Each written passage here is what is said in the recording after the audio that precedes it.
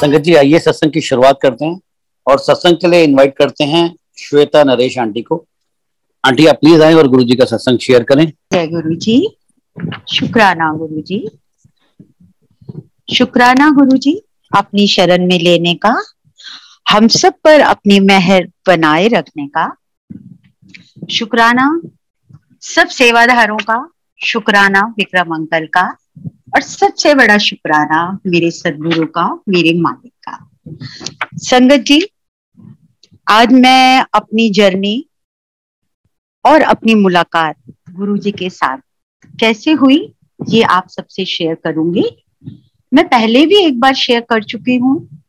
जैसे ही आज अंकल ने बोला तो अंकल ने यही बात बोली और मुझे याद दिलाया कि गुरुजी भी ये बोलते थे कि कोई भी सत्संग कितनी भी बार शेयर किया जाए, हर बार उसके लिए किसी एक नई संगत का आंसर होता है। और कई बार हम ये देखते हैं कि उसी सत्संग से हमें भी कुछ नए आंसर मिलते हैं। तो उसी विश्वास के साथ कि आज भी जब हम ये सत्संग कर रहे हैं, हमारे गुरुजी के दरबार में हम सबके घर पे हम सबके मन में हम सबकी आत्मा में गुरु जी विराजमान है और हमारे आसपास वो बैठे हुए हैं और हमारे को सुन रहे हैं और हमें ब्लेस कर रहे हैं। संगत जी ये बात है 2000 की। उस समय आ, मुझे कुछ प्रॉब्लम चल रही थी जो कि एटलीस्ट उस टाइम इंडिया में इतनी ज़्यादा नहीं चलती थी फ़िज़िकल प्रॉब्लम और उसको बोलते थे अल्सरेटिव कोलाइटिस जनरली जिस डॉक्टर के पास गेस्ट्रेंटोलॉजिस्ट के पास जाते थे, वो यही बोलता था, ये तो अमेरिकन बीमारी है, कहाँ आपने पाल? ली बट जो कि हमारा डाइट फ़ूड और मेन था टेंशन जो हमें सोचने की आदत होती है, वो चीज़ें हमने पाली होती हैं तो ये चीज़ हमारी बॉडी को इफ़ेक्ट करती है। संगत जी, उस टाइम इस बीमारी की एक ही दवाई थी इंडिया में दैट वाज सेल्जोपायरन और सेल्जोपायरन में सल्फ़र होता था और मैं सल्फ़र से एलर्जी थी। तो एक तरह से मेडिसिन मुझे सूट नहीं कर रही थी, क्योंकि उसको लेते ही मुझे एलर्जी होने के चांसेस ज़्यादा होते थे और सल्फ़र से एलर्जी काफ़ी रिस्की मानी जाती थी। तो उस टाइम फिर मुझे स्टीरॉइड्स पे रखा जाता था। आई थिंक स्टीरॉइड्स हमें इतना नहीं पता होते थे, लेकिन कोरोना के बाद हम सब की एक कॉमन मैन को भी ये पता चल गया है कि स्टीरॉइड्स लाइफ सेविंग ड्रग है बट लॉन्ग टर्म की जर्नी में ये काम नहीं आती, ये बॉडी को बहुत अफेक्ट करती है। तो संगत जी, एक तरह से ये था कि कोई आसरा नहीं था, कोई उम्मीद नहीं थी। एक तरह से ड्रग्स पे ही मैं चल रही थी, और जैसा कि हम में से बहुत से लोग हैं उनके दर पे, उस दरबार में, उसी वक्त पहुँचते हैं जब सब तरफ़ से हार गए होते हैं। मेरे साथ भी कुछ ऐसा ही हुआ। संगत जी क्लियरली मैं एक common man middle class self made मेरे पेरेंट्स सेल्फ मेड मैं। हम लोग पे, हम लोग को अपने पे कॉन्फिडेंस होता है। उसको मैं अभिमान नहीं कह सकती, एक कॉमन मैन का मान कह सकती हूँ। और जब गुरु जी के दर पे आए और अब समझ आया, वो मान भी उनके चरणों में छोड़ दो और सिर्फ़ उस मैं और मान को छोड़ के उनके साथ चलो। बट तब तक ये समझ नहीं थी, एक कॉमन मैन का मान था कि मैं एक कॉमन मैन हूँ नॉर्मल ह्यूमन बींग हूँ, किसी का बुरा नहीं करती, जितनी मेरी औकात है, मैं लोगों की हेल्प करती हूँ तो मैं किसी गुरु के पास क्यों जाऊँ? वो भी फ़िज़िकल फॉर्म में। तो एक तरह की ये थिंकिंग थी मेरे माइंड में और मैं नहीं बिलीव करती थी कि किसी गुरु पर या किसी ह्यूमन बॉडी को मैं पैर टच करके अपने भगवान के बराबर बिठाऊ। हाँ भगवान में मैं गॉड बिलीवर थी गॉड फेयरिंग नहीं थी, लेकिन फिर भी थोड़ा बहुत होता था, जैसे बड़े बोलते थे, गलत काम करोगे तो भगवान तुम्हें देखेंगे या मैनेज करेंगे। तो वो चीज़ थी कि गलत काम इसलिए नहीं करना है क्योंकि भगवान उसको देख रहा है। और जिस भगवान को मैं बिलीव करती थी, बचपन से वो मेरे भोलेनाथ थे, शिव शंभु थे। तो एक ये भी पॉइंट था शायद कि मैं गुरु जी के पास थोड़ी देर के लिए शुरू में रुक पाई। मेरी ये जर्नी शुरू होती है बेसिकली इनविटेशन की 2000 यू कैन से 1999 से, क्योंकि मैं गई गुरुजी के पास 2000 में थी बट उससे एक साल पहले मेरी हालत को देख करके मेरी छोटी सिस्टर उसके जो सीनियर बॉस थे, उन्होंने उसको बोला था कि आपके घर में किसी को कुछ प्रॉब्लम है तो गुरुजी की आज्ञा है, आप आइए और उनको लेके आइए। संगत जी, उस टाइम गुरुजी एम्पायर एस्टेट में बैठते थे और हम सब जानते हैं कि वहाँ पे उतनी संगत नहीं होती थी, सौ, डेढ़ सौ, दो सौ। और फिर भी जो मेरे मालिक का और था और जो वहाँ का समा बंधा होता था, हम में से किसी को ये आज्ञा अंदर से ही नहीं थी। वर्बली किसी ने भी मना किया था कि हम अपनी मर्ज़ी से किसी संगत को लेके आ जाए। आज तो गुरु जी ने हमें इतनी खुली छूट दी है कि हम किसी को भी बड़े मंदिर ले जाते हैं, दर्शन करवाते हैं और ले आते हैं और उसकी सब मनोरथ पूरे हो जाते हैं। गुरु जी उसकी छोलियाँ भर देते हैं। पर उस समय जब तक गुरु जी खुद नहीं बोलते थे, आप किसी को भी नहीं ला सकते थे। तो एक तरह से एक आज्ञा थी, एक साल तक, संगत जी, एक साल तक मेरा गुरु मुझे मैसेज भेजता रहा। आज मैं ये समझ सकती हूँ, लेकिन उस वक्त मैं नादान थी, अनजान थी। शायद मैं ये कहूँगी कि गुरुजी की जो वाणी है और जो भाषा है जिसमें उन्होंने पहला वर्ड यही बोला था, अपनी अकल को अपने जूतों के साथ छोड़ के आओ। शायद उस वक्त वो डिग्री और अकल मेरे पास थी तो मैं उस मैसेज को नहीं समझ पाई, नहीं गई, मैं रिफ्यूज करती। संगत जी अल्टीमेटली जून 2000 में मेरी हालत बहुत खराब थी, गर्मियों के दिन थे, मैं मम्मी के घर आई हुई थी। मेरी सिस्टर रात को साढ़े सात, पौने आठ बजे आई। और बोली, दीदी, उठ और चल। संगत जी, उस टाइम मेरा ये हाल था कि हर एक दो घंटे में मैं वॉशरूम जाती थी। मेरे को मतलब प्रॉब्लम हो जाती थी। मैं कुछ भी खाती थी, मैं वॉशरूम की तरफ़ भागती थी। मेरा एक ही वीक पॉइंट था कि कहीं भी जाना है। अवल तो जाना ही नहीं है। क्यों? क्योंकि जर्नी में मुझे प्रॉब्लम हो सकती है। जाना है तो जहाँ वॉशरूम की फैसिलिटी इस तरह से सिस्टर ने बोला, तू आज चलेगी, चाहे कुछ हो जाए. मैं उसको रिफ्यूज करती रही। कहती, नहीं, आप चलोगे आज। और वो मुझे ज़बरदस्ती गाड़ी में बिठा के ले गए। मैंने उससे पहला क्वेश्चन यही पूछा था कि मैं, वहाँ वॉशरूम तो होगा ना? उसने बोला, तू यहाँ से चल, जो होगा देखा जाए। वो मेरे से बहुत छोटी है, लेकिन जब वो डांटती है तो ऐसे ही डांटती है। और या तो उसकी डांट में गुरुजी की डांट थी, क्या था? संगत जी, मैं उसके साथ बैठ के गई। मैं उसको बहुत वीक थी, संगत जी, बहुत वेट लूज कर चुकी थी। हीमोग्लोबिन मेरा साढ़े छह और सात होता था। और मतलब बीपी मेरा काफ़ी लो रहता था बट वो जिद में मुझे ले गई। इतनी दूर जाने के नाम से मुझे वैसे ही घबराहट हो रही थी। संगत जी, हम गाड़ी में बैठे और वहाँ में। वहाँ जाते ही आपने देखा होगा, पहले हम बाहर से, गाड़ी बाहर रुकती थी, अंदर आए हैंड वॉश करके हम अंदर मंदिर के दरवाजे पे आए। दरवाजे पे आते ही जब अंदर जाने लगे, मेरी सिस्टर को बस एक ये था कि अभी मैं आपको यही बताऊँगी, वो मुझे ऐसे क्यों बोल रही थी कि मैं हर बात पे वाई एंड हाउ बिना रीजन बिना लॉजिक्स के मैं कोई चीज़ एक्सेप्ट ही नहीं करती थी। And I was ready to give the logics for everything तो इसलिए मुझे हर चीज़ को मनाने के लिए लॉजिक मांगने का हक मैं अपना मानती थी। और मेरी सिस्टर ने सिर्फ़ ये बोला पीछे पीछे मेरे एक तरह से जैसे हाथी पे अंकुश लगाते हैं, हल्के से पिंच करते हुए, दीदी, कुछ नहीं बोलना, सिर्फ़ मेरे को फॉलो करना और बाकी लोगों को फॉलो करना। आवाज़ मत निकालना जो जो कहा जाए करते जाए चलने लगे। अंदर आए, सीढ़ियों पे चढ़े, दरवाजे से अंदर आए। अब मुझे लगा कोई बाबा जी होंगे, दाढ़ी होगी, भगवे कपड़े होंगे।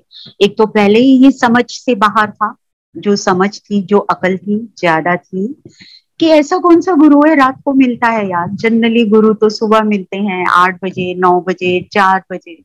सत्संग होता है, ग्यारह बजे, बारह बजे। चलो, ढेर सारे क्वेश्चन ढेर सारे वाई ढेर सारे हाउ और एक ही उम्मीद कि चलो, कोई डॉक्टर कोई फकीर कुछ नहीं कर पाया। शायद यही कुछ कर अपने दर्दों को समेट के मैं वहाँ पहुँची। संगत जी, ये सोचते हुए किस तरह के गुरु होंगे, आपने देखा होगा एम्पायर एस्टेट में सामने सीढ़ी से उतरते ही। राइट में जब टर्न किया, अभी स्क्रीन पे भी हम देख रहे हैं, इतना ब्यूटीफुल इतना क्यूट इतना पावर इतनी वाइब्रेशन ये कैसा गुरु है यार? इतना ड्रेस ड्रेसअप किया हुआ, इतने ब्यूटीफुल तरीके से। तब तक यही था कि गुरु का मतलब होता है सिंपल कपड़े व्हाइट या भगवे और दाढ़ी और मूछ। यहाँ तो कुछ भी नहीं था। सब कुछ अलग। जो इतने सालों के संस्कार या थिंकिंग थी या माइंड में एक सेटअप था, सब चेंज हो गया। चलो, चलते गए आगे। पीछे पीछे मेरा कमांडर मुझे गाइड कर, बोले जा रहा है, चुप रहना चुप रहना। सबने मथा टेका। मैंने भी सर झुकाया, माथा टेका और वापस आया। संगत जी, वो वो टाइम था जब मैं एक चपाती पूरे दिन में नहीं खा पाती थी। हम थोड़ी देर बैठे, पहले दिन हमें ऊपर ले जाए, भेजा गया मुझे। हम लोग ऊपर जाके बैठ गए और वाणी चल रही थी तो मुझे लगा मेडिटेशन कर लेते हैं। मेडिटेशन करने लग गई। मेडिटेशन में मैं यही सोचे जा रही थी, कैसे गुरु है कैसा इनका अटायर है? और मुझे लगा अच्छा अगर अच्छे गुरु हैं तो उन्हें भी पता होगा कि मैं भी फेयर ह्यूमन बींग हूँ। वो मुझे पहचान जाएँगे। मैं कोई चीटिंग नहीं करती, कोई बेईमानी नहीं करती, और मैं अच्छा इंसान हूँ। बस ये मैं और वो, मैं और वो सोचते सोचते हमें नीचे बुलाया गया।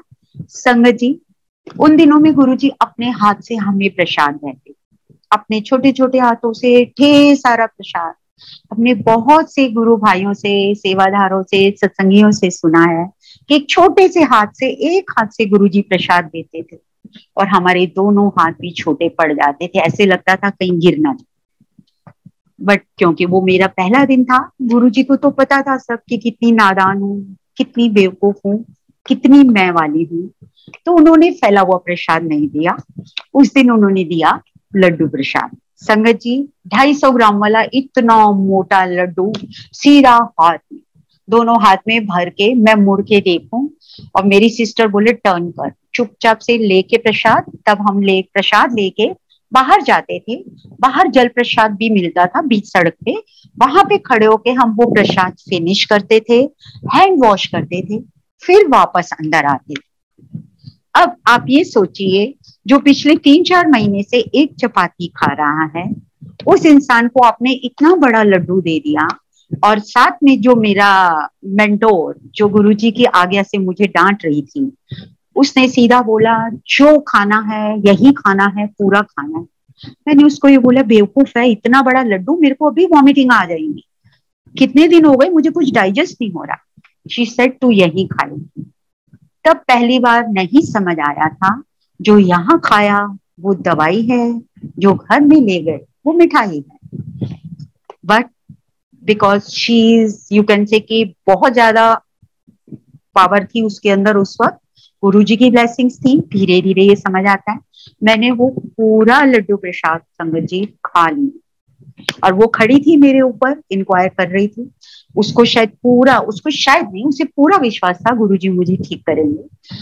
वो लड्डू प्रसाद खा के, अब मुझे लगे, अब मेरा पेट गया। या तो मैं वॉमिट करूँगी या वॉशरूम जाऊँगी। और संगत जी, हम सब जानते हैं कि जब हम कहीं नई जगह पर जाते हैं एम्पायर एस्टेट में वॉशरूम वहीं पर है किचन के सामने, थोड़ा आगे जाके, सारी संगत भी दरवाजे के बाहर हम लोग बैठते थे वहाँ पर।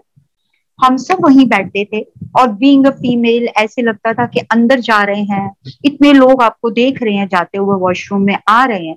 तो यही लगा मेरा स्टमक अपसेट है तो कितना अम्बेरिसिंग हो जाएगा मेरे लिए।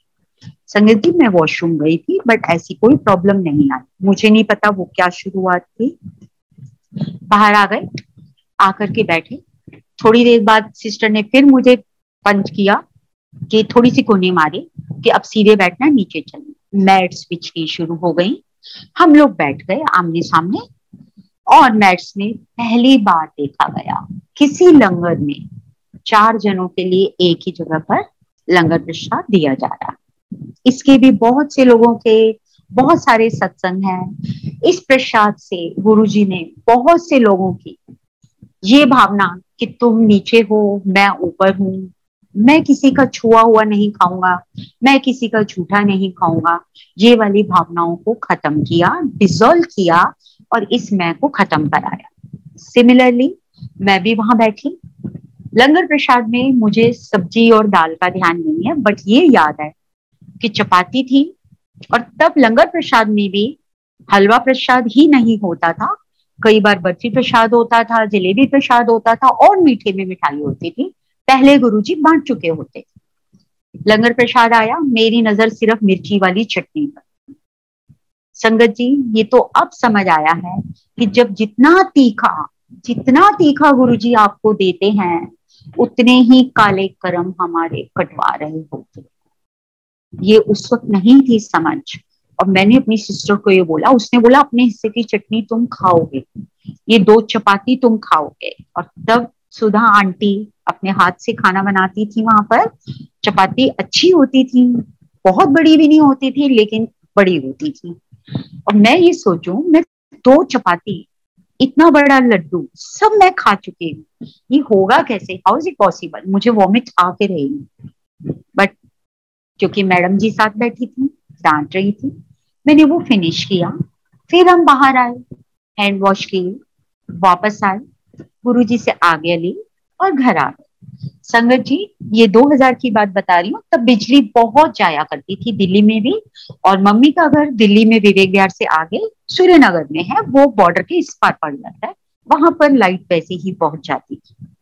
इन्वर्टर्स काम करना कम कर देते थे दो ढाई घंटे के बाद, तीन घंटे के बाद इतने बड़े घर में इन्वर्टर बंद हो जाते थे। जनरेटर में कई बार डीजल कम हो जाता था, इतनी लंबी लाइट जाती थी। और जून का महीना गाड़ी से वापस आ रहे हैं और मुझे जैसे ही हमने वहाँ एंटर किया, पता चला तीन घंटे से लाइट नहीं। मेरी सिस्टर ने मम्मी के घर छोड़ा और खुद तो चली गई अपने घर और मुझे ये लगे कि बेटा, अब तो तुम गए, श्वेता। अब तुम्हें वॉमिटिंग भी आएगी क्योंकि गर्मी मुझसे टॉलरेट नहीं होती और तुम्हारी हालत खराब होने संगत जी, मुझे कुछ भी नहीं हुआ। ना वॉमिटिंग गई, ना मैं वॉशरूम गई, वापस आई, वापस सो गई। नेक्स्ट डे सुबह ठीक है, मैं नहीं कहूँगी मैं हंड्रेड परसेंट ठीक हो गई, लेकिन काफ़ी रिकवरी और वो जो डर और एक हॉरर था कि मुझे कुछ डाइजेस्ट नहीं हो रहा। वो एक, शुरू में तो हम यही कहेंगे, अब हमें समझ आता है कि गुरुजी मिरेकल्स के लिए नहीं हुए थे। गुरुजी हैं हमारे मेहर के लिए। वो हम पर मेहर करते हैं, वो मिरेकल्स नहीं करते। बट हम नादान हैं, या हम नादान लोगों को समझाने के लिए कि मैं तुम्हारा शिव नहीं, मैं तुम्हारा महाशिव हूँ। वो कई बार ये छोटे छोटे मेरेकल्स छोटे छोटे जो स्पार्क्स हैं हमारी लाइफ को, जो पूरी तरह से डिस्चार्ज है स्पिरिचुअलिटी की तरफ़ नहीं है बिलीव की तरफ़ नहीं है, उसमें ये लाइट देते हैं। तो थोड़ा सा मुझे लगा कि यार कुछ तो अलग हुआ है कि इतना खाना खा के मुझे कुछ भी नहीं हुआ। Then again mind brain degree holder है हम लोग इंटेलिजेंट है, अच्छे से पढ़े लिखे हैं, एक ही जवाब आया स्टीरोइड्स दिए होंगे, क्योंकि तब नए नए मैं भी स्टीरोइड्स ले रही थी साल भर से। मुझे ये पता था कि बॉडी वेट फिर मुझे दिमाग में आया कि श्वेता, वो खाना तो छोटा बच्चा भी दो चपाती खा रहा था, बूढ़ा अंकल भी दो चपाती खा रहा था, मोटी आंटी भी दो चपाती खा रही थी और पतली आंटी भी। जबकि स्टीरोड्स का रूल ये होता है, जितना आपका बॉडी वेट है, उससे ज़्यादा ग्राम्स नहीं दे सकते आप। फिर माइंड ने बोला कि वो 60 ग्राम, अगर मेरा वेट 50 ग्राम है, किलो है तो मुझे उतनी देंगे, दूसरे को 20 किलो की देंगे, कैसे पॉसिबल है?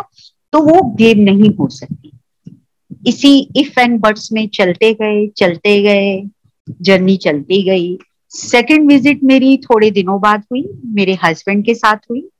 और मेरे हस्बैंड तो बहुत जल्दी, जितना मैं विद लॉजिक एंड रीजन किसी चीज़ को बिलीव करना शुरू करती हूँ, वो तो बहुत स्ट्रॉन्ग बिलीवर है। जहाँ भी तुम्हें बोले, बोलोगे, वहाँ वो उस पर सर झुका देते हैं, हाथ जोड़ देते हैं।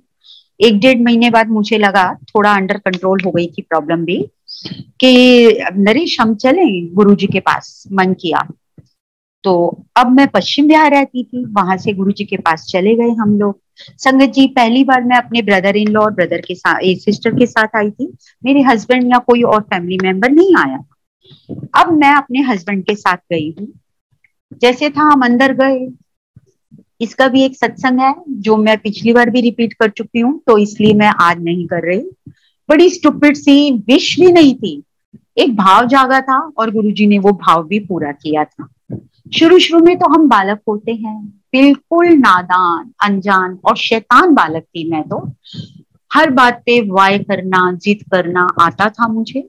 और वो गुरुजी ने हर नादानी को हंस के पूरा किया, टाला और ऐसे ही ऐसे ही इतने ब्यूटीफुल तरीके से मुस्कुराते रहे। हँसते रहे कि कितने नादान है। लेकिन जैसा कि हम सब जानते हैं, हम अपने पिता को भूल जाएँ। हम अपने पिता को एक बार को इग्नोर कर दें कि मैं बिज़ी हूँ, आज टाइम नहीं है गुरुजी।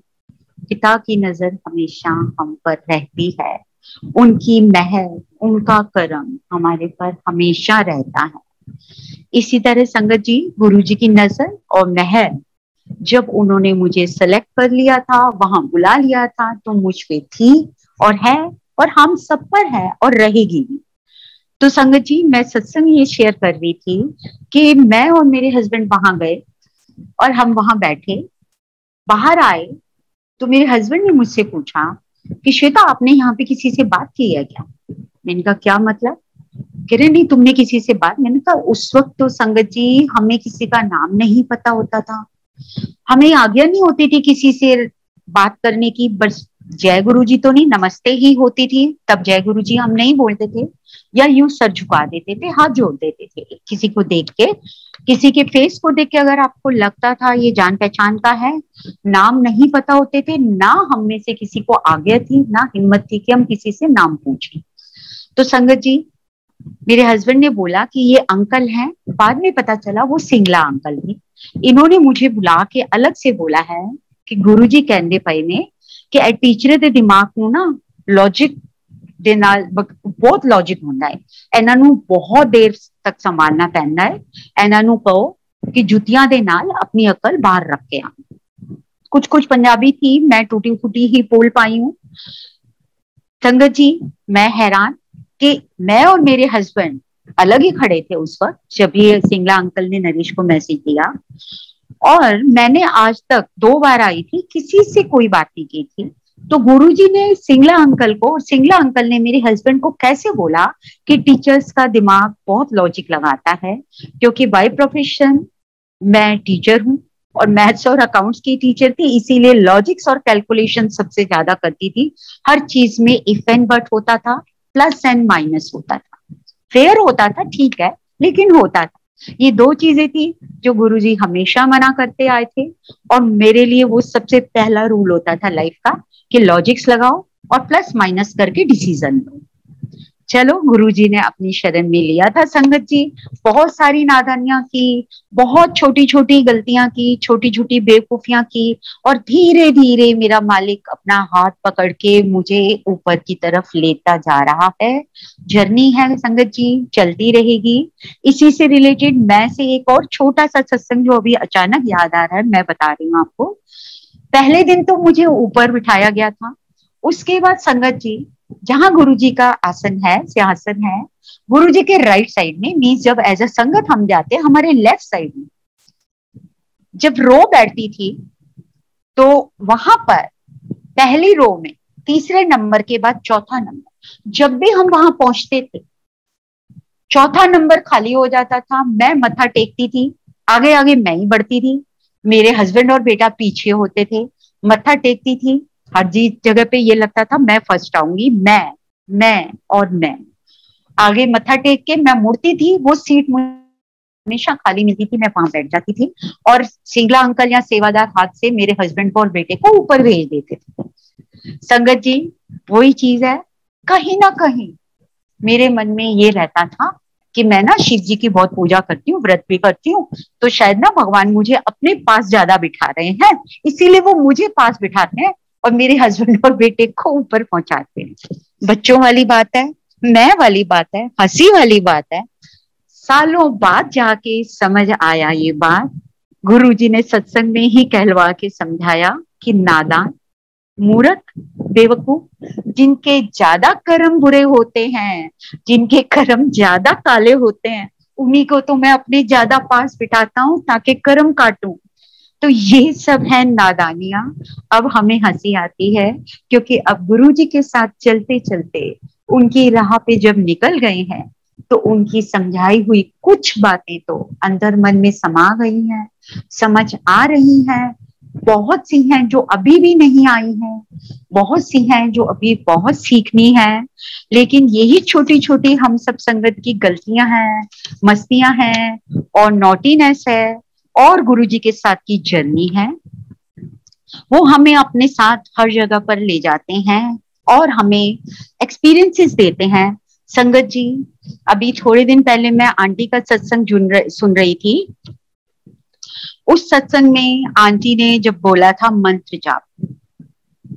अब इतने सालों में संगत जी, बीस बाईस साल हो गए। ये शक्ति पहले भी समझ आई थी, लेकिन अब यही लगता है। जब तुम्हारे सब आश्रय खत्म और अब तो संगत जी, कोई और आसरा है ही नहीं।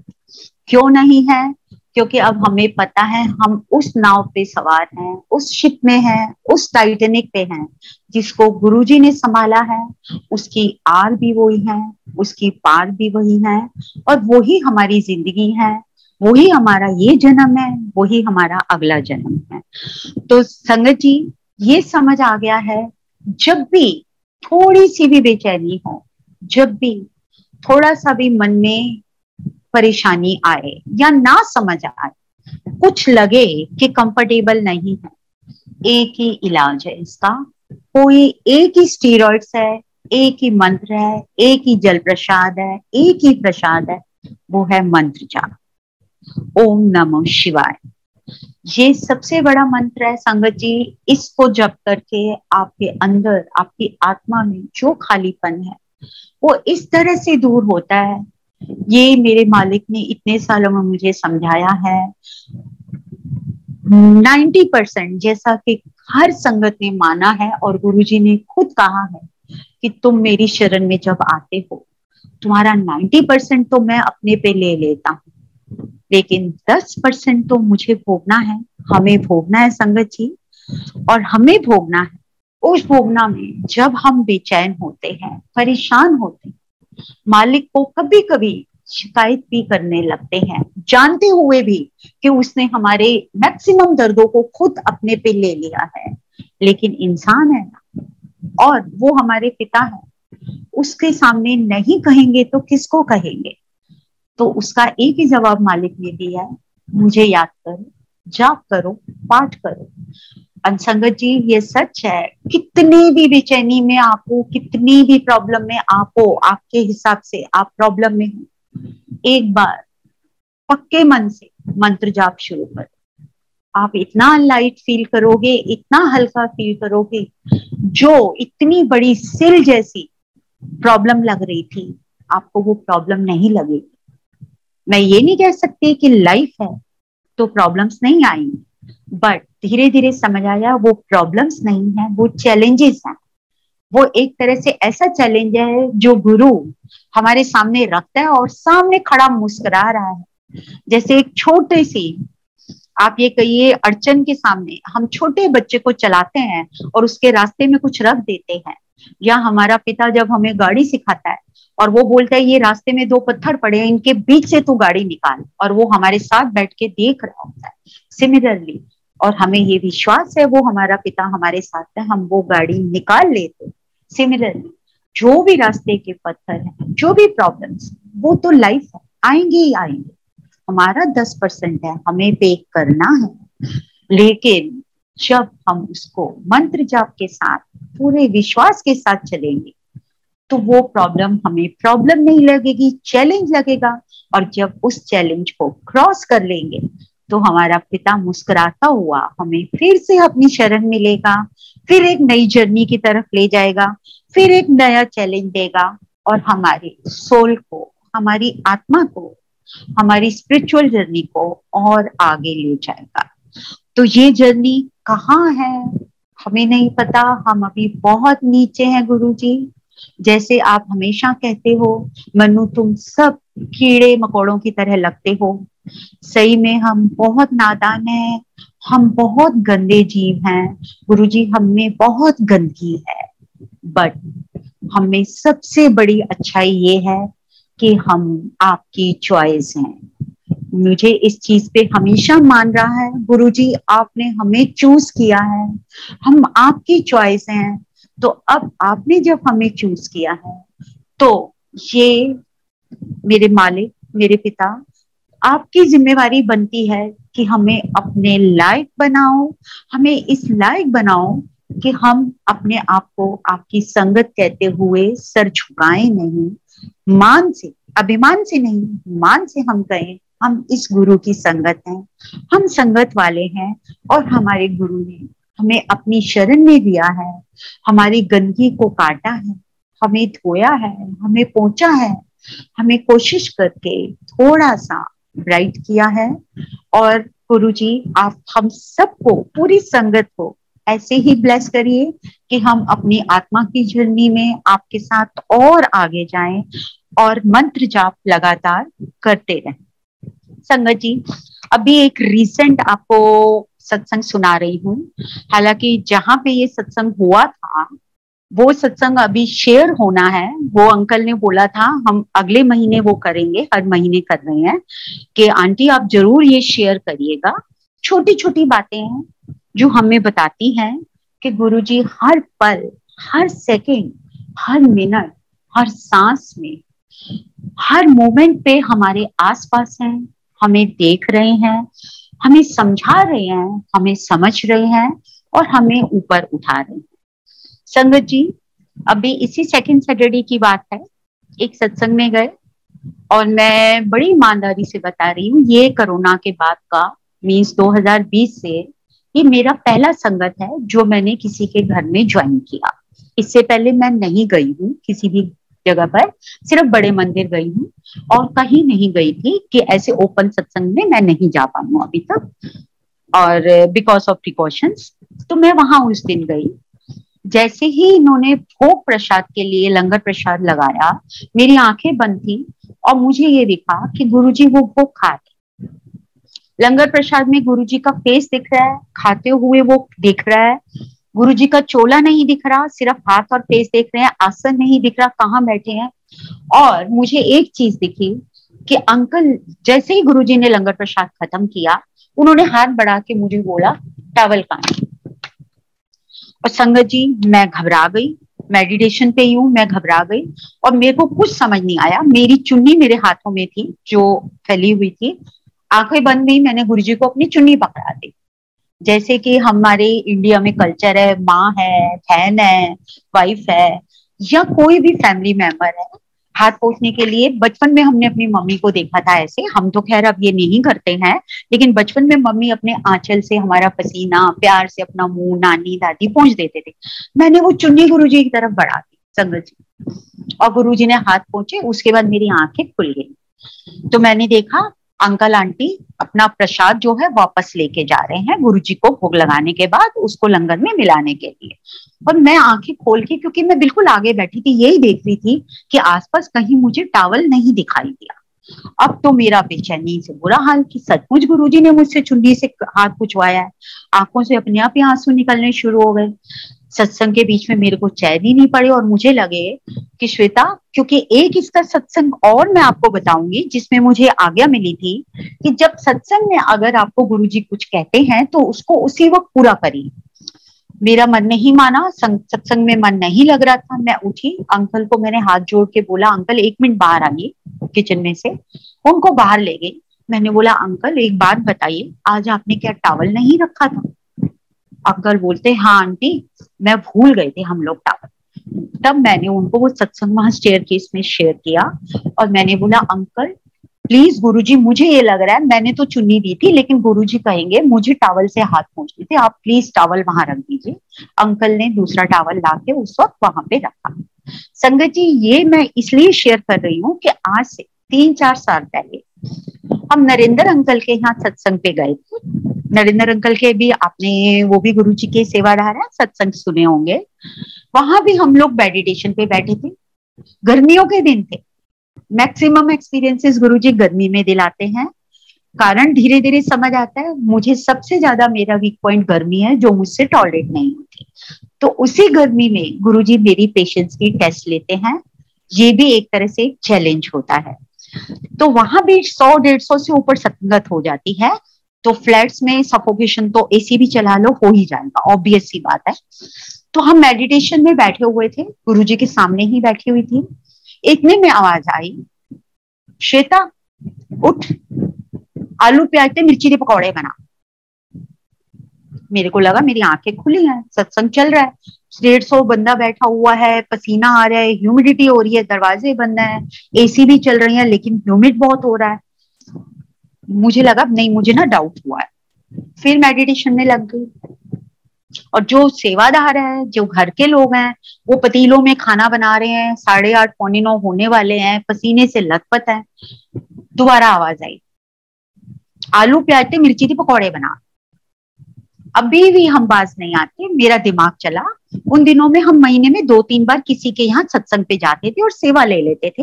तो मैं ये काउंट करने लगी कि अगली सेवा मेरी किसकी है? शायद गुरुजी मुझे ये चाहते हैं कि अगली सेवा में तुम चाय प्रसाद के साथ ये सेवा लेके जाना। दिमाग है ना? लग जाता है। कितने भी साल साथ रहे बट गुरुजी भी इसीलिए हँसते हैं। मैं शांत हो गई। मैं कहा, चलो, अगली बार ज़िंदा आंटी की भी सेवा होगी, मैं बोल दूँगी, ये प्रसाद हम गुरु को खिलाएँगे। समझ नहीं थी मुझे तब तक। तो संगत जी, फिर मुझे लगा, नहीं, जो होस्ट है, नरेंद्र अंकल से मैं ज़रूर शेयर करूँगी ये बात। अभी ये थोड़ी संगत ज़्यादा है थोड़ा लंगर प्रसाद हो जाए, भीड़ कम हो जाए, मैं अंकल को बताऊँगी। संगत जी, साढ़े दस बज गए।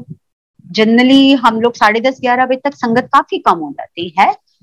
तीस चालीस लोग बचे होंगे। थोड़ा हवा भी ठीक हो गई, एसी भी ठीक हो गया बट मैं भूल गई।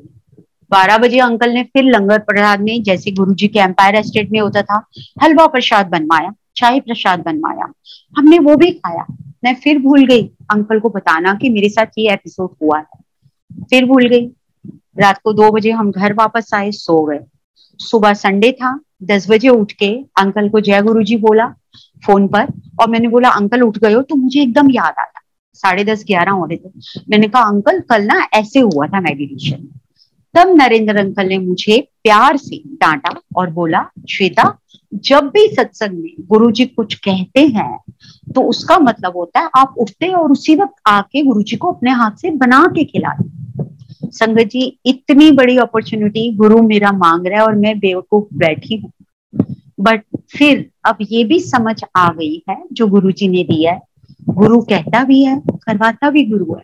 शायद उस दिन वो मेरे हक में नहीं था। लेकिन गुरु जी ने मुझे ये सीख दी थी और नेक्स्ट डे फिर मैंने शाम को अंकल ने बोला, कोई बात नहीं, आपकी सेवा जब होगी तब गुरु जी अपने आप कह के करवाएँगे। शाम को आप चार बजे चाय प्रसाद के साथ ये भोग लगा देना गुरु जी को, क्योंकि अब लंच टाइम भी निकल गया, तब तो ये दो बनी।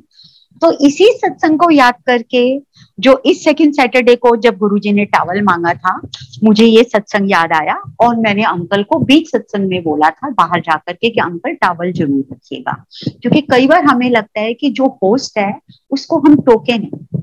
बट कई बार ये भी आगे आती है कि अगर कहीं पे भी कोई सेवाधार कुछ जाने अनजाने अलग कर रहा है, जो गुरु की आज्ञा नहीं है, मैं गलत नहीं बोलूँगी। क्यों? क्योंकि ये हम सब गुरु की संगत है। हम सब अच्छे मन से, सच्चे भाव से गुरु जी के लिए कर रहे होते हैं। बट जिसमें गुरु जी की आज्ञा नहीं है, उस चीज़ को हम ना करें। अगर गुरु जी उस वक्त आकर के हमें बता देते हैं तो हम शेयर ज़रूर करें। संगत जी? संगत जी, अब मैं आपको एक चीज़ और बताऊँगी कि सत्संग में जैसा कि हम जानते हैं कि गुरु जी आते हैं, हमारे साथ बैठते हैं और हमें समझते हैं। बहुत सारे ऐसे सत्संग के एक्सपीरियंसेस होंगे कि जो आपको पता चल जाएगा गुरुजी आसपास ही हैं। और ये सच है, वो ज़रूर आते हैं। हम मन से बुलाते हैं, लेकिन हमारा मन उसे छू नहीं पाता, क्योंकि अपनों में, अपनों के वेलकम में डेकोरेशन में, इन चीज़ों में हम बिज़ी हो जाते हैं। तो संगत जी आपको एक छोटा सा और सत्संग मैं बता रही हूँ, जो थोड़ा सा मुझे लगा मैंने शेयर नहीं किया है और आज जब विक्रम अंकल गुरुजी की आज्ञा मुझे दे रहे थे, तभी मैं उनसे शेयर कर पाई, वो कुछ शेयर कर रहे थे तो मुझे याद आया। संगत जी, ये 2000 के एक दो साल आगे पीछे की बात होगी। उस वक्त ये जो रोड थी, ये काफ़ी खाली हुआ करती थी। नहीं 2000 से आगे हो गया, चार या पाँच के बाद की बात होगी। हाँ बड़े मंदिर से आ रहे थे हम। तो जब हम बड़े मंदिर से आ रहे थे, हमारे पास उस वक्त मारुति 800 थी। संगत जी, तिवोली के पास आप देखेंगे, जब हम जाते हैं, हमारे राइट साइड पे, तिवो, दोनों रोड के बीच में, साढ़े चार पाँच फीट की ग्रिल है डिवाइडर की तरह। थोड़ा उससे आगे, हम वापस आ रहे थे रात को, ग्यारह बजे का करीब टाइम होगा। मारुति 800 में हम आ रहे थे, और तब पुलिस सुमो नहीं था पुलिस पुलिस आनी शुरू हुई थी और काफ़ी मतलब की हेवी गाड़ी मानी जाती थी। हम लोग मारुति में आ रहे हैं संगत जी। पीछे से बड़ी स्पीड से पुलिस आ रही है और हमें पता नहीं चल रहा हॉर्न उसका बचता जा रहा है। संगत जी, आप बिलीव नहीं करेंगे। आप आ रहे हैं राइट साइड पे ग्रिल है साढ़े चार, पाँच फीट की। त्रिवोली से थोड़ा पहले का टाइप जगह थी। ग्रिल इतनी ऊँची है, हमारी गाड़ी चल रही है। मारुति से ऊँची हो गई ग्रिल एक तरह से वो। पीछे से वो गाड़ी इतना शोर मचाती हुई आ रही है हॉर्न बजाती हुई। हम कंफ्यूज कि हो क्या रहा है ये पीछे वाली गाड़ी पे? संगत जी, वो गाड़ी हमारे लेफ़्ट से, एकदम से उसने लेफ़्ट टर्न लिया, सामने वार्ड से टकरा गई। इतनी स्पीड से टकराई संगत जी, और वो गाड़ी उछली है, और जैसे बिलियर्ड टेबल पे हम खेल रहे होते हैं कि आपने शॉट मारा है लेफ़्ट में गया लेफ़्ट से टकरा के वो राइट में टर्न संगत जी, आप इमेजिन करिए, हमारी गाड़ी भी चल ही रही थी। वो राइट में टर्न हुई, घूम के पूरा हमें ठोक सकती थी। लेकिन आप बिलीव नहीं करेंगे, जो मैं आज भी नहीं कर पाती हूँ लगता है जैसे मिरेकल हुआ था या क्या कोई अजूबा हुआ था। वो गाड़ी उछली है ऊपर की तरफ़। वो वाली जो बाउंड्री थी ग्रिल थी, उनको क्रॉस करके तिवोली के गेट की तरफ़ चली गई। यू टर्न लेके उल्टी और सीधी खड़ी है गाड़ी। यू टर्न हो गया उस रोड साइड सारी गाड़ियाँ रुक गई, आगे पीछे की, सब रुक गए और उसमें से ड्राइवर उतरा। सबने बोला, पिया हुआ था, शुक्र करो, बच गए संगत जी, जब वो गाड़ी टर्न की है, हमारे बोनट से, आधा फुट, छह, सात, आठ इंच आगे होगी। अगर वो छह फुट आगे होती, छह इंच आगे होती, या थोड़ा भी आगे होती तो मारुति 800 इतनी स्पीड से आके गाड़ी वापर प्रेशर से टर्न हो रही है और इतना जम किया कि छह फुट ऊपर होके सड़क के दूसरी साइड चली गई है वो गाड़ी। क्या हाल होता? उस वक्त नहीं समझ आया था संगत सिंह।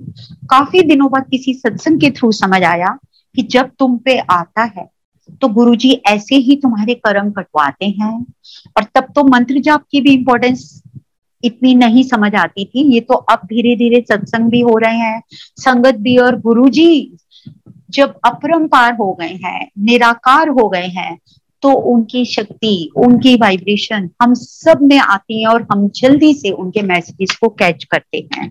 तो संगत जी, एक तरह से ये बात सही है, गुरु जी जब हमें अपने पास बुलाते हैं, हमारे कर्म काटने के लिए बुलाते हैं और हमारी आई हुई बलाओं को दूर करने के लिए बुलाते हैं, हमें तो ये भी नहीं पता उस मालिक से हमने क्या मांगना है।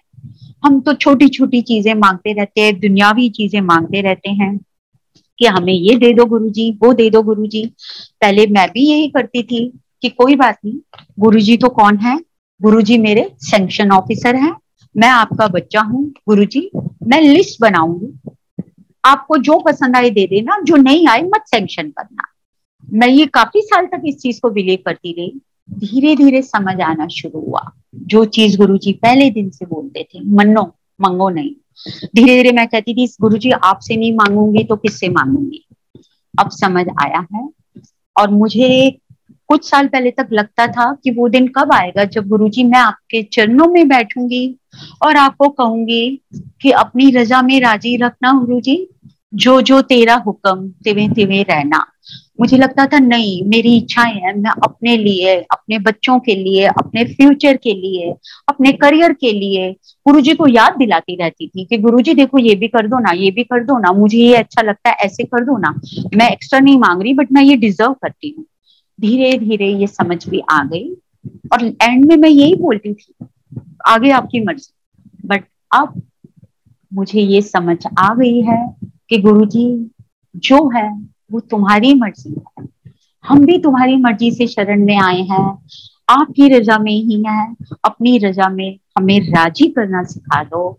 अपनी हाँ में हाँ अपनी ना में ना हमें सिखा दो गुरु जी और अगर संगत जी मैं गिनू तो जैसा गुरु जी ने बोला था, कोई एक भी फैमिली में से मेरे पास आ जाता है तो मैं सबका कल्याण कर देता हूँ। गुरु जी मेरे अपने आमतौर पे हम अपने माँ बाप भाई बहन और बच्चों के लिए ही मांगते हैं।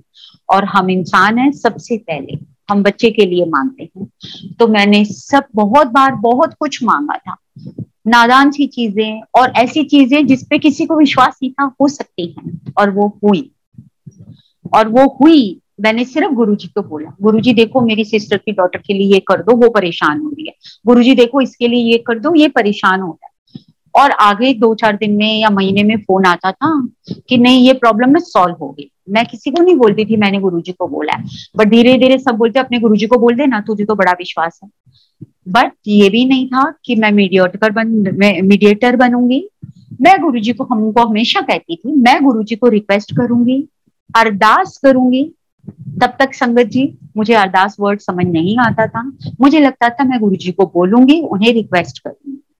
अब समझ आता है, अरदास क्या होता है, अरदास का भाव, अरदास की फीलिंग अरदास की सुनवाई, अरदास का रिजेक्शन वो सब ऊपर वाले को पता है कब, क्यों और किसके लिए करना है। बट जब तक मैं नादान थी, मेरी नादानियों को अपनी छोटे छोटे मिरेकल से उसने प्रूव किया कि देख, मैं तुझे जानता हूँ, समझता हूँ, अब ये तेरी जर्नी है तो मुझे कितना समझती है। तो गुरुजी, मैं आपको यही बोलूँगी, गुरुजी, आपने अरिंदी शरण में बुलाया है, आपने अपने रस्ते पे लगाया है, आपने अपने लाइफ कुछ तो देखा होगा, उस कुछ को, उस छोटे से स्पार्क इतना बड़ा कर दीजिए गुरु जी कि मुझे जहाँ देखो वहाँ तुम ही तुम देखो। हर चीज़ में आपकी रजा दिखे। हर सुख में आप साथ दिखो। हर दुख में आप साथ दिखो। और जब आप साथ हो, पता है आपने हाथ थामा हुआ तो कोई चीज़, दुख, सुख, कोई फ़र्क नहीं लगेगा, कोई अलग नहीं लगेगा। बस एक ही वर्ड होगा, ओम नमो शिवाय शिव जी सदा सहाय। ओम नमो शिवाय। गुरु जी सदा सहाय। गुरु जी बस कोशिश यही होगी कि क्योंकि आपकी मेहर हम सब पर है, आपका हाथ हम सब के सर पर है, आपकी मुस्कुराहट जिससे हमारा जीवन रोशन हो गया है, हम सब के पास है, इसके बदले जो ग्रेटिट्यूड है, जो शुक्राना है, वही हम कर सकते हैं। तो गुरु जी मैं बस दोनों हाथ जोड़ता है। आपको यही बोलूँगी कि शुक्राना गुरु जी शुक्राना, हम सबके जीवन में आने का, जबकि हम ये भी नहीं जानते थे कि इस अपने मालिक को कहा स्थान दें। सिंहासन पर दें, गदी पर दें, दरी पर दें, या अपने दिल में दें। तो शुक्राना गुरु जी हमारे जीवन में आने का, शुक्राना गुरु जी हम सबको अपनी शरण में लेने का शुक्राना गुरु जी हम सबकी नादानियों को इस अंदाज से नजरअंदाज करने का कि हम अपने को छोटा नहीं माने, लेकिन हमेशा ये माने कि हमें आपके और लायक बनना है, हमें खुद को और संवारना है। तो गुरु जी बस अपने चरणों में स्थान दीजिए और अपनी महर सारी संगत पर ऐसे ही बनाए रखिए। और हमें इस लायक बनाइए गुरु जी कि हम कहीं पर भी इस मान के साथ हो कि मेरा गुरु मेरे साथ है और आपके मान को आगे बढ़ाएँ गुरु जी आपके संगत को आगे बढ़ाएँ, आपके शुक्राने को आगे बढ़ाएँ और आपका गुणगान ऐसे ही करते रहें। इतनी ब्लेसिंग दीजिए और इतना अपना हाथ हमारे सर पे रखिए। शुक्राना गुरु जी शुक्राना। और उस मिनट का शुक्राना जब आपने अपने दर पे बुलाया, उस घड़ी का शुक्राना, आज यही हम सुन भी रहे थे, कुर्बान जाऊँ उस वेला जब तेरे द्वारे आया, सदगुरु पूरा पाया। उस वक्त नहीं समझ आया था, आज समझ आ गया है कि हम सबने, हम सबने संगत जी उस सदगुरु को पाया है, उसको निहारा है, उसके एहसास को छुआ है, उसको अपने दिल में समाया है। तो सदगुरु, हे मेरे दादा हम सब पर मेहर करना और ऐसे ही अपना रहमो करम हम पर बरसाए रखना। जय गुरु जी संगत जी, शुक्राना गुरु जी शुक्राना संगत जी, शुक्राना अंकल जी, शुक्राना शुक्राना। जय गुरु जी